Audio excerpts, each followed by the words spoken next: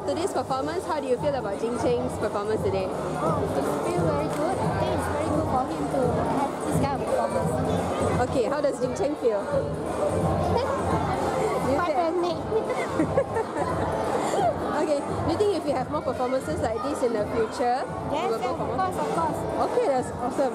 So, have fun later today. Thank you. Okay, thank you for your time.